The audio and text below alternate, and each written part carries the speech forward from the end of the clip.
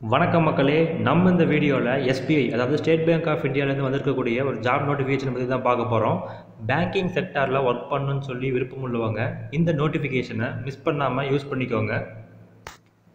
இது போல் government job அப்டேட்ஸை தொடர்ந்து பெற நம்ம சேனலை சப்ஸ்கிரைப் பண்ணி நோட்டிஃபிகேஷன் பெல்லை ப்ரெஸ் பண்ணிக்கோங்க. ஸோ இதுதான் அந்த ஜாப்க்கான நோட்டிஃபிகேஷன் என்ன போஸ்ட்டுக்கு எடுக்கிறாங்க அப்படின்னு சொல்லி பார்த்தீங்க அப்படின்னா ப்ரொபேஷனரி ஆஃபீஸருங்கிற போஸ்ட்டுக்கு எடுக்கிறாங்க இதுக்கு அப்ளை பண்ணுற டேட் பார்த்தீங்க அப்படின்னா அஞ்சு பத்து ரெண்டாயிரத்தி இருபத்தொன்று ஸ்டார்ட் ஆகி இருபத்தஞ்சி பத்து ரெண்டாயிரத்தி இருபத்தி ஒன்று வரைக்கும் டைம் இருக்குது இதோட ஸ்டேஜ் ஒன் எக்ஸாம் எப்போ இருக்கும் அப்படின்னு சொல்லி பார்த்தோம் அப்படின்னா நவம்பர் லாஸ்ட்டு அல்ல டிசம்பர் ஃபஸ்ட்டு ரெண்டாயிரத்தி இருபத்தொன்று இருக்குன்னு சொல்லி மென்ஷன் பண்ணியிருக்காங்க. அடுத்து வேகன்சி டீடைல்ஸ் பார்த்தோம் அப்படின்னா கேஸ்ட் வைஸாக பிரித்து போட்டிருக்காங்க. எஸ்சிக்கு எவ்வளோ எஸ்டிக்கு எவ்வளோ ஓபிசி எக்கனாமிக்கலி வீக்கர் செக்ஷன் ஜென்ரல்னு சொல்லிட்டு மொத்தமாக ரெண்டாயிரத்தி ஐம்பத்தாறு வேகன்சிஸ் இருக்குது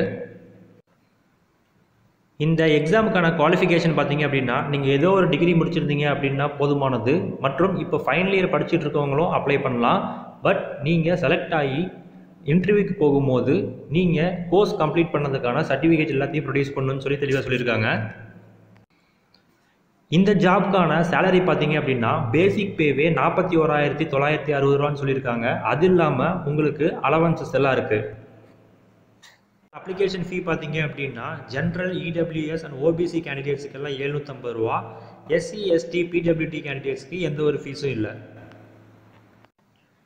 இந்த எக்ஸாமுக்கு நீங்கள் அப்ளை பண்ணி எழுதுறதுக்காக கவர்மெண்ட்லேயே ஃப்ரீயாக ட்ரைனிங்கும் கொடுக்குறாங்க. இதுக்கு யார் யாரெல்லாம் எலிஜிபிள் அப்படின்னு பார்த்தீங்க அப்படின்னா SC ST and religious minority community candidates இவங்க தான் இதுக்கு எலிஜிபிள் இது நீங்கள் இந்த எக்ஸாமுக்கு அப்ளை பண்ணும் போதே இதை நீங்கள் மென்ஷன் பண்ணி அப்ளை பண்ணுன்னு சொல்லியிருக்காங்க. அடுத்து நம்பர் ஆஃப் சான்சஸ் ஒரு கேண்டிடேட் எத்தனை வாட்டி இந்த எக்ஸாமை அட்டன் பண்ணலாம் அப்படின்னு சொல்லிட்டு கொடுத்துருக்காங்க. ஜென்ரலாக இருந்தால் நாலு டைம் அட்டன் பண்ணலாம். ஜென்ரல் பிடபிள்யூடி எக்கனாமிக்கலி வீக்கர் செக்ஷனாக இருந்தால் ஏழு டைம் ஓபிசி ஏழு தடவை. ஓபிசி பிடபிள்யூடியாக இருந்தால் ஏழு வருஷம். எஸ்சி எஸ்டி இவங்களுக்கு எந்த ஒரு ரெஸ்ட்ரிக்ஷனும் கிடையாது. இது நீங்கள் ப்ரீலிமினரி ஸ்டேஜ் தா தாண்டி மெயின்ஸ் போனீங்கன்னா தான் இது. ப்ரீலிமினரி ஸ்டேஜுக்கு எந்த ஒரு லிமிட்டேஷன்ஸும் கிடையாது.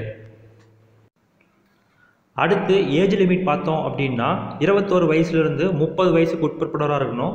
அது இல்லாமல் ஏஜ் ரிலாக்ஸேஷனும் இருக்குது எஸ்சி எஸ்டியாக இருந்தால் ஃபைவ் இயர்ஸ் ஓபிசியாக இருந்தால் three years person with benchmark டிசபிலிட்டிஸாக இருந்தால் ஃபிஃப்டீன் இயர்ஸ் அந்த மாதிரி டேப்லெட்லாம் மென்ஷன் பண்ணியிருக்காங்க. அடுத்து ஃபேஸ் ஒன் எக்ஸாமோட சிலபஸ் பார்த்தோம் அப்படின்னா English லாங்குவேஜ்லேருந்து thirty questions quantitative aptitude and reasoning எபிலிட்டிலேருந்து thirty five thirty five questions டோட்டலாக பார்த்தோம் அப்படின்னா ஹண்ட்ரட் கொஸ்டின் ஒவ்வொரு செக்ஷனுக்குமே டுவெண்ட்டி மினிட்ஸ் இது வந்து செக்ஷனல் டைமிங் தான். ஒவ்வொரு செக்ஷனுக்குமே டுவெண்ட்டி மினிட்ஸ் நீங்கள் டோட்டலாக பார்த்தோம் அப்படின்னா நூறு கொஸ்டின் எழுதணும். டைமிங் பார்த்தோம் அப்படின்னா ஒன் ஹவர் நீங்கள் ஸ்டேஜ் ஒன் எக்ஸாமை கிளியர் பண்ணிட்டீங்க அப்படின்னா உங்களுக்கு ஸ்டேஜ் டூ எக்ஸாம் இருக்கும். இதுக்குமே சிலபஸ் கொடுத்துருக்காங்க. ரீசன் அண்ட் கம்ப்யூட்டர் ஆப்டிடியூட்டில் வந்து நாற்பத்தஞ்சு கொஸ்டின் அறுபது mark data analysis and interpretation வந்து தேர்ட்டி ஃபைவ் கொஸ்டின் அறுபது mark general economy and banking அவேர்னஸில் நாற்பது கொஸ்டின் நாற்பது மார்க்கு இங்கிலீஷ் லாங்குவேஜில் பார்த்தீங்கன்னா முப்பத்தஞ்சு கொஸ்டின் நாற்பது மார்க்கு இதுவுமே வந்து செக்ஷனல் டைமிங் தான். ஒவ்வொரு செக்ஷனுக்கும் தனித்தனியாக டைமிங் வரும் டோட்டலாக one fifty five questions two hundred mark timing பார்த்தீங்கன்னா த்ரீ ஹவர்ஸ் அது இல்லாமல் வந்து உங்களுக்கு ஒரு டிஸ்கிரிப்டிவ் டெஸ்ட் இருக்கும். அதுக்கு தனியாக தேர்ட்டி மினிட்ஸ் கொடுப்பாங்க. அதுக்கு மார்க் பார்த்தீங்க அப்படின்னா ஃபிஃப்டி மார்க் இதுவும் வந்து ஸ்டேஜ் டூ எக்ஸாமோட சேரும். இந்த stage one and stage two ரெண்டு எக்ஸாம்லேயுமே உங்களுக்கு நெகட்டிவ் மார்க் இருக்குது ஒவ்வொரு தப்பான கொஷினுக்குமே உங்களுக்கு point two five mark reduce ஆகும்.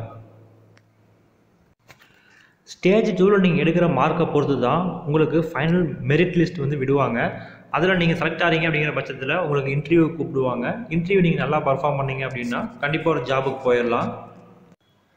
எக்ஸாமினேஷன் சென்டர்லாம் பார்த்தோம் அப்படின்னா ஸ்டேஜ் ஒன்றுக்கு சென்னை கோயம்புத்தூர் ஈரோடு மதுரை நாகர்கோயில் சேலம் தஞ்சாவூர் திருச்சிராப்பள்ளி திருநெல்வேலி வேலூர் விருதுநகரில் கொடுத்துருக்காங்க. ஸ்டேஜ் டூ பார்த்தோம் அப்படின்னா மெயின்ஸுக்கு சென்னை மதுரை அண்ட் திருநெல்வேலி மட்டும்தான் கொடுத்துருக்காங்க.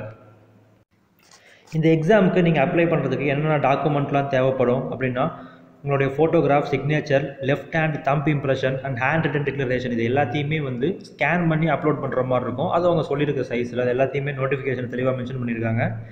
ஸோ இந்த எக்ஸாமுக்கு விருப்பமும் தகுதி உள்ளவங்க டைம் வேஸ்ட் பண்ணாமல் சீக்கிரமாக அப்ளை பண்ணி படிக்க ஸ்டார்ட் பண்ணுங்கள் இந்த வீடியோ உங்களுக்கு பயனுள்ளதாக இருந்தால் மறக்காமல் சப்ஸ்கிரைப் பண்ணி உங்கள் ஃப்ரெண்ட்ஸுக்கு ஷேர் பண்ணுங்கள் அண்ட் தேங்க்யூ